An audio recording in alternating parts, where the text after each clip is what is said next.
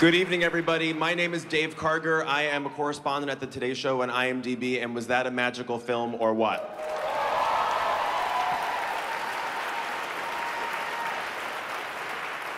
It was so much fun to watch it with this audience. You guys are unbelievable. And what a pleasure it is to bring out four of the people who brought this movie to the screen. First, I want to introduce one of the film's producers. Please welcome Fred Berger.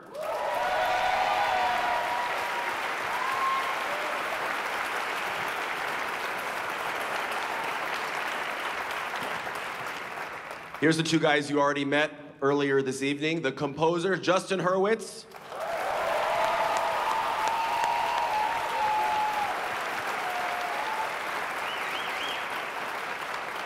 And the writer director, Damien Chazelle.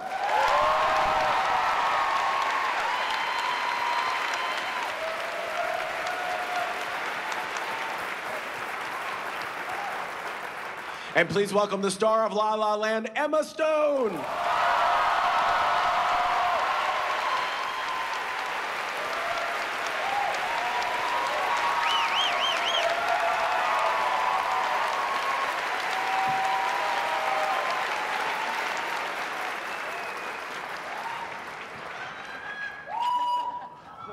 Hi, guys.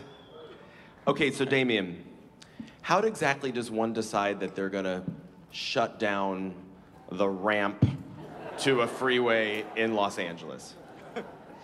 Where did Well, this come from? Luckily, I have my producer here who can Yes. also who can also help with that because it was a little bit of a logistical nightmare. It's very easy to you know uh, to kind of write down on a page that that uh, you know this big musical number happens on a freeway, but figuring out how to actually do it was obviously a different a different thing. Um, I mean, what we wound up doing was was there's a uh, uh, an easy pass ramp uh, connecting the 105 and the 110 um, that you know is just for those lucky few with easy passes. so uh, so we were able to shut that down specifically just that elevated ramp for a weekend. And uh, we just packed it with cars. Um, and, and Mandy Moore, our choreographer, uh, uh, packed it with dancers. And uh, and we yeah and we, and we just sort of went in and did it but i think part of what was fun about you know it was very important to all of us to do it on a real location and not have it be done you know uh, uh, with green screen or on a soundstage. Um, so you know that creates all sorts of problems obviously. There was a heat wave when we shot it you know there's wind, high winds up there so the camera on the crane is like doing this and the ramp is slanted also. It's not a flat ramp so you you know that kind of creates all sorts of problems for dancing and camera framing. Um, and uh, the truck door when we needed it to open at the kind of midpoint of the number decided of course to just not open and just break so we had to like figure out a pulley system to like time so that when the guy seemed like he was opening it it would open so all these things, you know, kind of happen that are headaches in the moment, but you do, I think, get something visceral out of just being actually on there and looking down and seeing actual traffic going and all that stuff was that kind of element I wanted to make sure was in the scene. Fred, what did the city say to you when you explained this idea to them? They said, "How much can you pay?" no, it's actually that's that specific ramp's been used uh, several times, Transformers and other movies, so we knew we'd have access to it if we'd had the resources. But as Damien said, there was something just extra visceral about actually being on location, having traffic that you see on the movie. In all the other ramps beneath you, you have 360 views of the entire city. It was definitely the two best days of shooting, I think, of our lives. I mean, just having that. Uh, that control of that kind of location. And the cars were all selected by Damien by color and by size, and everything about it was, you know, what's crazy is we were shooting on film as well. So the way the monitors look, you can't actually tell if you're getting it because it's so much little detail in each scene. So we didn't really know we had it until two days later. Oh my God, that must have been stressful when you like Um, push play on. But it was it was a joy. yeah. Um, how on earth do you even try to rehearse that? How do you find a space that approximates that ramp so that your dancers can plan it all with cars? I mean, it's It, it was, uh, you know, it's um, that really was actually one of the biggest challenges was just was adapting to the real location in not a lot of time because uh, yeah, it's not a thing you can rehearse on location uh, for most for the most part. We rehearsed in parking lots. Uh, I think Mandy started off by rehearsing dancers in her dance studio. I remember with just like apple boxes, you know, representing you know car one, car two, truck. Um, whenever we would go over the camera moves with the you know for the crew and everything just for simplicity to actually be able to map out the the the diagram of camera movement we had like a model you know of the freeway ramp filled with hot wheels toy cars and that you know and that became our and we'd like label each one. This is the flamenco dancer. This is the bmx biker. This is dancer number one and so all of this is kind of in theory, you know, you get that down as much as you can, but you know that there's going to be this big leap once you're actually on location. Um, luckily, Fred was able to, uh, uh, uh, along with our AD, Peter Cohn, was able to kind of carve out a moment in the schedule where we could go to the location, shut it down just briefly on a Saturday the week before, and just do a little bit of a dress rehearsal just to kind of test out things. Uh, naturally, that dress rehearsal was a disaster, and um, uh, but it was exactly the disaster we needed at that moment to kind of figure out, okay, this is what's working, this is what's not working. We changed the crane of, of the camera, we adapted some of the choreography, we made little nips and tucks, and then by the time we actually could go in and shoot the real thing, we at least had some idea of what to expect. Justin, how did it work from your end? You know, the songs and the story just fit so beautifully and seamlessly together. Is that because the two of you worked together so closely on it, or was it a question of fitting songs into specific beats of the story or fitting a story around songs that were written?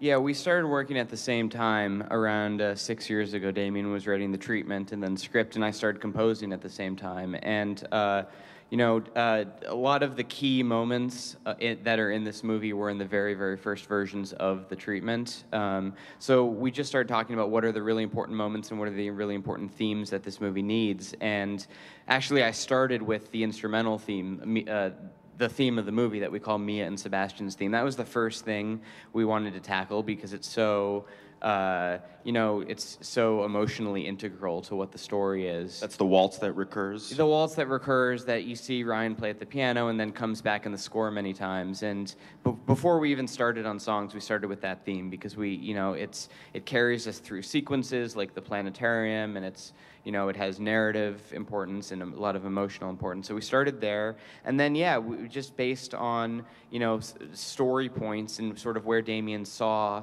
songs or instrumental musical numbers or other sequences that needed you know music. Again, he had such a complete vision of it, you know, even at, at the at the first stages of the the script that he knew even where score would go. So we started uh, talking about a song will go here, score will go there. In the case of a song, this is what narratively, emotionally it's supposed to accomplish. Um, and I just started composing, you know, melodies and themes, and we started, you know, picking them. Uh, it was a long process in before we found the right melodies and themes, but you know, just started picking them, choosing which moments they'd go in, and you know, structuring them into songs, verse, chorus, what whatnot. And then once we felt like they were locked musically, then we would hand them off to the incredibly talented lyricists, uh, Pasek and Paul, Benj Pasek and Justin Paul, who wrote all the gorgeous words. So great. There's a number of scenes in the movie that come across to me as like total high wire acts. I mean, obviously the opening is one where just so many things have to go right. I'm also thinking about that great kind of magic hour dance sequence, you know, that you and Ryan share. How stressful is that when it's such a long shot in this magic hour period and maybe there's some digital stuff going on where you can make the sky whatever color you want or maybe that's you had to do it in a short amount of time. But God forbid you made a mistake 4 minutes into a take do you just like, oh, all right, that's it, you got to start over, or do you go through the whole thing and then just start again? We um, we started rehearsing that. I mean, months before we shot it, and um, we would rehearse in a dance room and and you know work on this. And Mandy would learn our strengths or our uh, you know sometimes weaknesses, maybe like for Ryan specifically.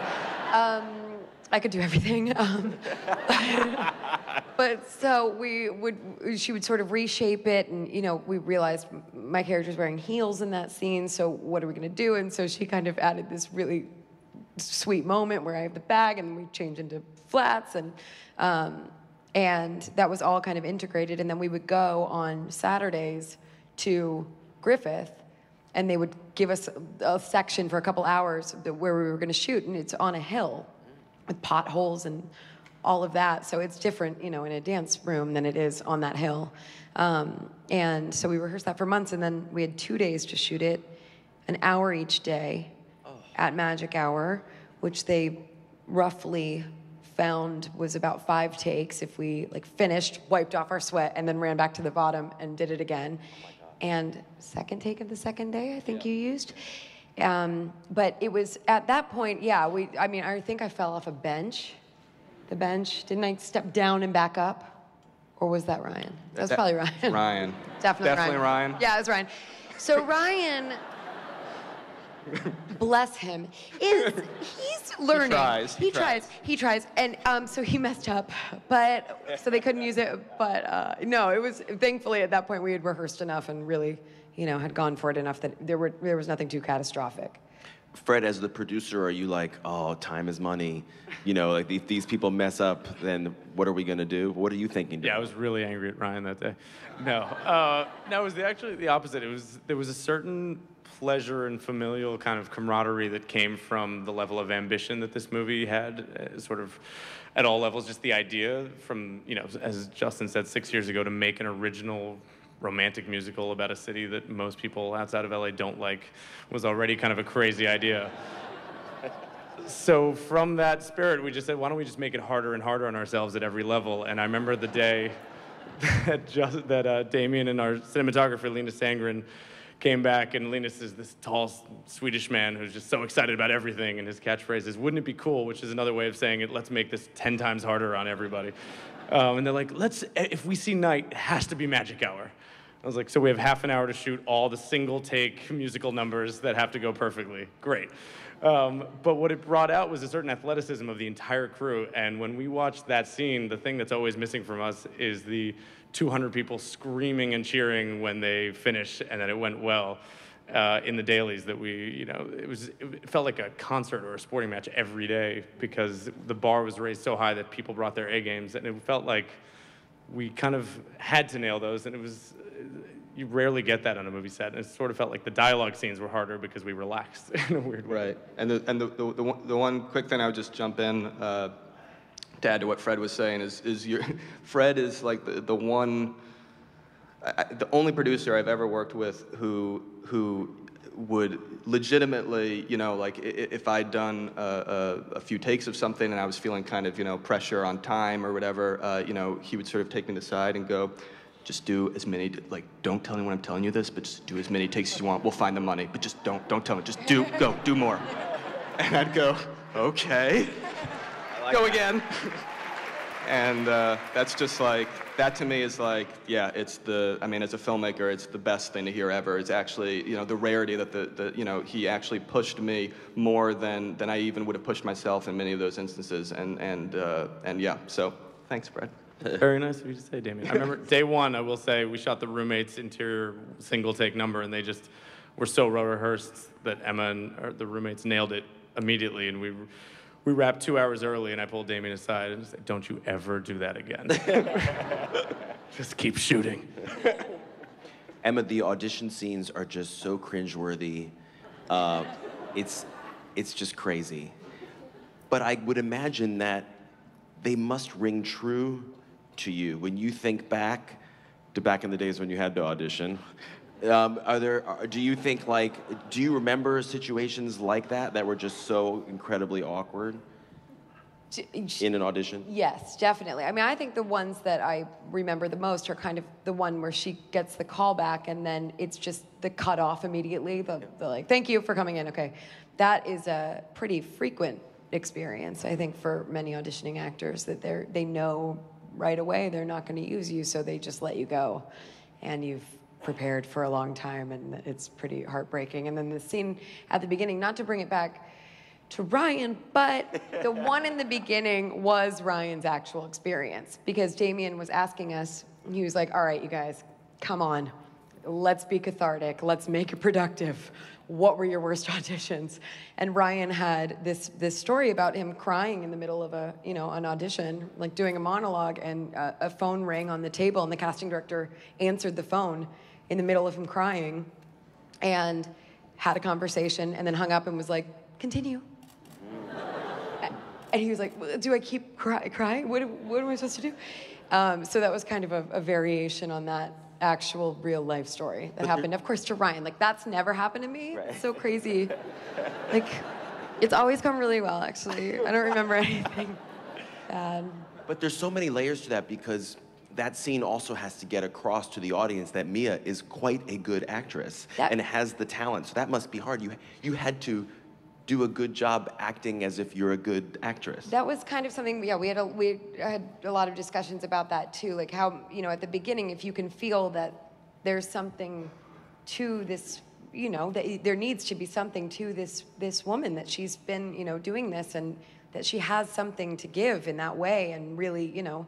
Um, but then also it was kind of fun because later on, the idea of the callback scene was meant to feel very forced and pushed. Like there was a lot of, you know, stuff on top of her. And I think he was, you know, Damien was amazing about kind of calibrating that so you could feel that it's not just like every audition she's nailing and people are being dismissive of her. It's sometimes, you know, not going well at all because she's putting way too much pressure on herself. Damien, this is your third movie as a director. Of course, I'm sure a lot of people here saw your last one, Whiplash, with J.K. Simmons.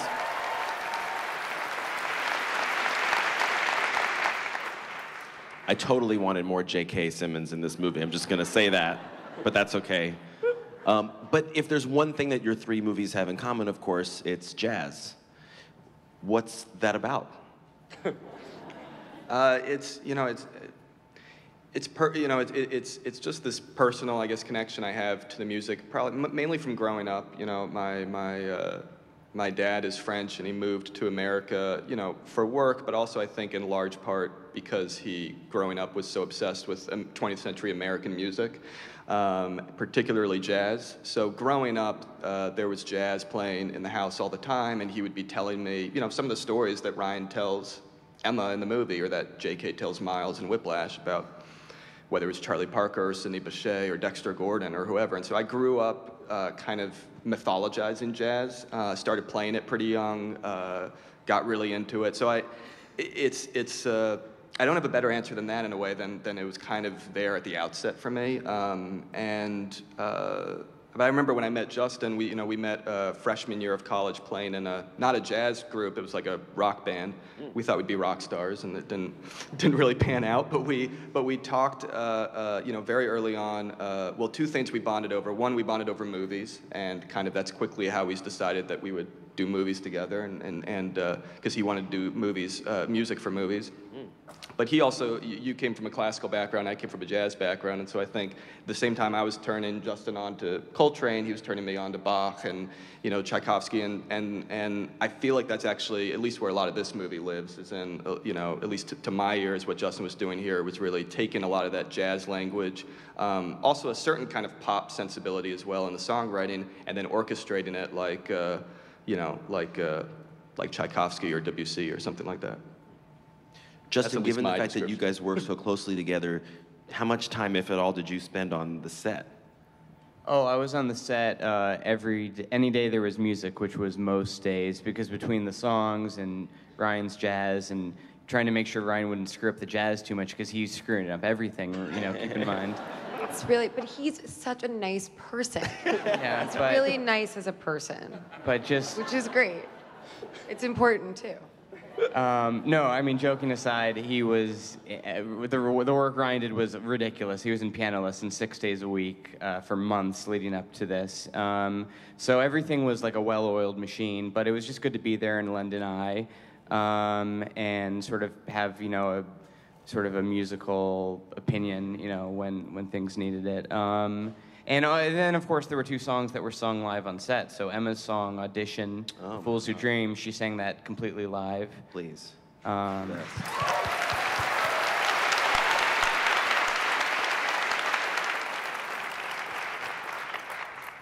and uh, and the City of Stars duet, uh, also completely live. So yeah, they that those were songs where the act where Ryan and Emma just sort of drove the songs, and um, I was in the other room playing piano, kind of into their ears on an electric keyboard, and letting them just guide the song. And uh, they'd both, you know, rehearsed it quite a bit in the in the you know leading up leading up to the shoot just to get the notes to get the to figure out the keys with them and to sort of get it in their bones but i think they were you know, Emma can talk about this, but I think they were kind of saving themselves, and you know, particularly with audition, kind of you know, saving it for the day to really go to the place emotionally where you went. So it was a new experience on the day, and we didn't know what it was going to be. Um, and seeing you know that performance to see it you know acted the way she acted it and just to be there to sort of accompany it was really kind of an unbelievable experience You must have had that date circled on your calendar, like date where I'm going to be shooting audition. Yes, definitely. And how did you psych yourself up for it? Um, I think it was just, I just knew it was coming. I mean, we had, I worked with a wonderful voice teacher named Eric Vetro. They set me up with him for the movie, and um, and he was so helpful. And we just rehearsed and rehearsed with Marius, and um, and then we did. I think, I always say nine takes, and I think that's correct. Wow. I- I'm not, remember. I'm not sure, but I, I do remember it was actually one of the early takes. That, Oh, really? uh, that I think we used in the movie. I just did the others. So I to just kept singing. Exhaust you. Yeah, yeah, yeah. Cool, cool. Um, no, it's but it's that kind of thing, like what Fred was saying. You know, sometimes you, especially shooting film, you know, we, and and with the budget we had, we knew we didn't have really the budget for reshoots in any real way. So we would always try. Kind of our rule of thumb was to try to get two, like for any of the long takes, to try to do two, one, two, you know, make sure we had at least two that we felt like, okay, we got it. That can be in the movie. Uh, so two perfect takes.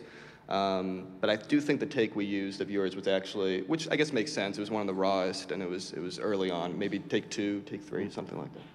Fred, how did you guys know that John Legend could act so well? Because he's great. He is great, isn't he? This is the first time he's ever acted in a movie. Um, that's a really good question. I don't, I don't know that that was the, the sort of threshold. I mean, he's so charismatic and has such presence.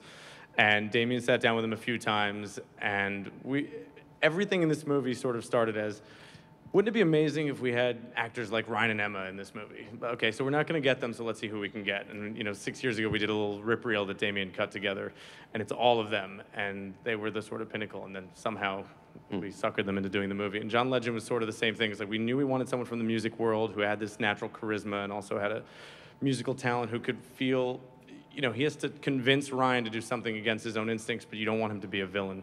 And John has that natural charm and sincerity, and can also speak to being a jazz musician and to the to the roots. But also, I think he delivers that speech about moving the the medium and the music form forward in a way that is uniquely him. Um, and then he sat down with Justin and our music team, and in two hours, they were just supposed to meet and hang out and talk and just get to know each other and see if they could collaborate. And after two hours, they came out with Start a Fire, that Echo song. And it was so damn good and so perfect, sort of narratively, for what the movie had to be, which is just good enough that you believe Ryan's character would play it, but just bad enough that you would believe that Emma would be pissed at him for doing it. Um, and then we had to cast him because he had the song. So, uh, but no, he he really did the work, and he's just part of the family, and was uh, just an amazing guy in every way. And Emma, I'm so intrigued by, well, there's two moments that really get me with your performance. One is when you're sitting at the dinner with Finn Wittrock and, uh, and, and figuring out that you need to get out of there. And there's so much going on in your face and your body language. But then also in that scene that Fred's talking about where you're in the audience and there's a whole story being told on your face. But it can't have just been Mia reacts in a little bit of horror at this music she's seeing. It had to have been more choreographed than that, almost like a dance, all the different things that were going to go on in your facial expression. What was that like, the preparation for it? It's the other way. We found the fault. We found the fault. Am I am I alive? um, the um, yeah yeah I'm, I'm here. Uh, the, I'm trying. Well, I'm trying to remember the the kind of chor- do you, I, I mean, I, it, I guess there wasn't actually, I don't remember there being actually that much kind of uh, preparation specifically for, like in a way, I think you just intuitively got it. I think in the script it was written, you know, as, especially that scene where the, the ladder scene, the John Legend uh, scene, you know, the, the various degrees were kind of written out in the description of, you know, Mia first is shocked, then kind of tries to enjoy it and realizes this is fun, and then it starts to get a little more then suddenly it's a little more produced and dancers are showing up and it's just becoming less and less Sebastian and Um, but I don't know how much we actually. I mean, it's Yeah, again, it's a, that's uh, yeah. I'm trying to remember how much we actually talked through. I mean, I know on the on the speaker, you know, it was very much like, and the song is beginning. But that uh, beyond that, I don't know that you were like shouting out.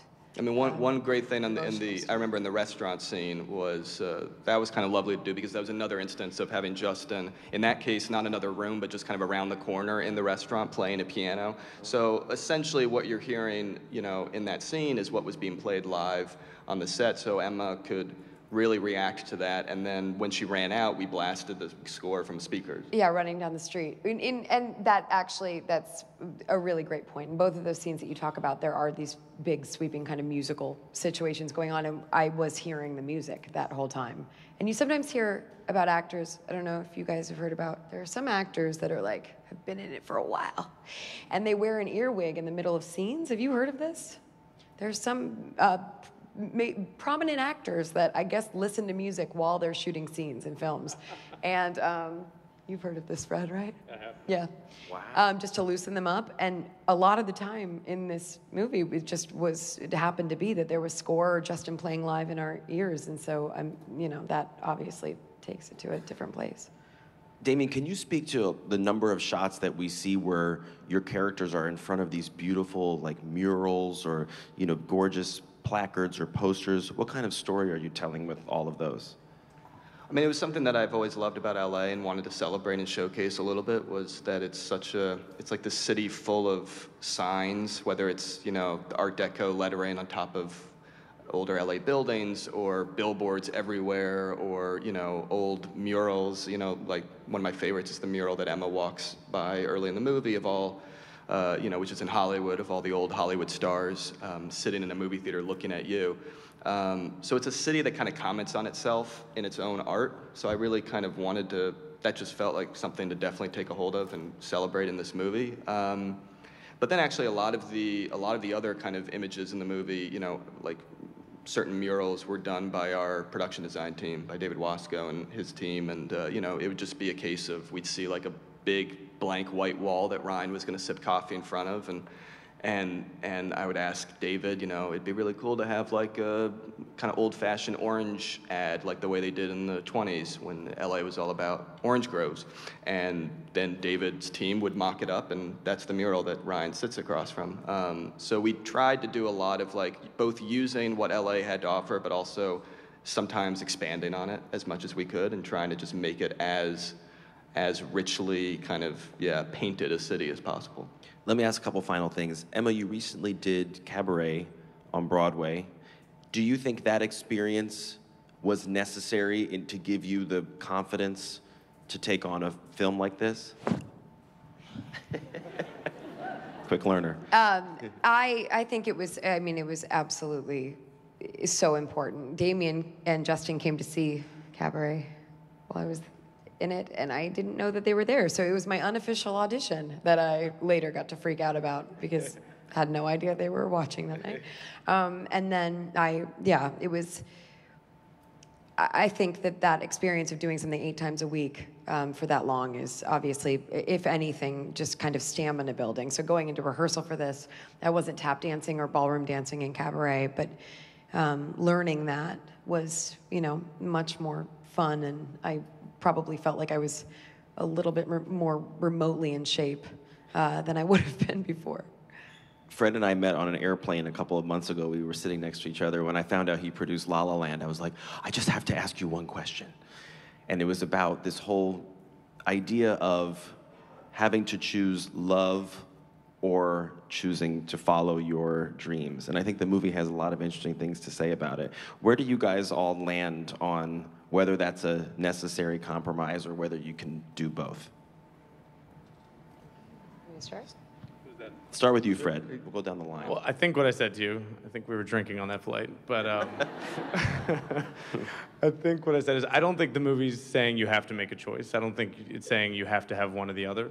Um, but I think there's a couple things that are really beautiful and moving about it to me. And I think the movie also, you know, the movie took a long time to make, and we started it before Whiplash was a thing. And the movie's very much about our struggles and our hustle to, to come here. And I think everyone along the way has first loves, but also has people who inspires them and are muses and who sort of sets them on a path to where we get to. And I think what I love about Sebastian and Mia is they wouldn't end up where they are without each other, and they'll never forget each other. And there's something perfect about something that's finite, and Damien says this very eloquently. And I remember when we first met him, there were three, you know, there was no script, there was no treatment. It was just jazz musician, actress falling in love, trying to make it, and they don't end up together. They cannot end up together. Um, and there is, if you look at great love stories, they rarely end up together because there's something, you know, happily ever after means you gotta, you know, you gotta sort through real life. There's something kind of so perfect about Sebastian and Mia's story, um, both in the way they can remember it in that final montage, as well as what they provoked in each other and what they brought out in each other. Ryan was able to sort of have that club because of Mia. That's why, like, I start crying when I see that Seb sign every time because that's her, you know. And I think the same is true of Mia's character. Believing the reason you sing in that scene is because Ryan tells you to be yourself. You know what I mean? Says and allows you to trust in your voice. And so, I don't think it's about having to make that choice. Just in this case, they didn't end up together, but their lives are richer because they knew each other. Uh, and that's ultimately, to me, what I take away about the, the sort of fusion and cohesion of love and our aspirations. Anybody want to add to that? I'm just going to pop in and say I could not answer that better than Fred yeah, did I, just now. I mean, agree. it's- Whatever he said. Yeah. It's good by me. So let I me- wasn't listening, but I feel like Yeah, it was it sounded good. It was long and it, It sounded good. Good job. Good job. So I'm ending with the most important question. Emma, did you already know by heart all the words to I Ran So Far Away by a Flock of Seagulls, or did you have to study them for the film? Well, luckily, it was only really the first kind of uh, verse and chorus of I Ran, so I had that down. Yeah, no, I had it down. I cannot congratulate the four of you enough. Emma Stone, Damien Chazelle, Justin, Fred, congratulations. You guys are an amazing audience. Thanks so much. Thanks to Airbnb and everyone who put this event together. Have a great night, everybody. Thank, you, so much. guys. Thank you.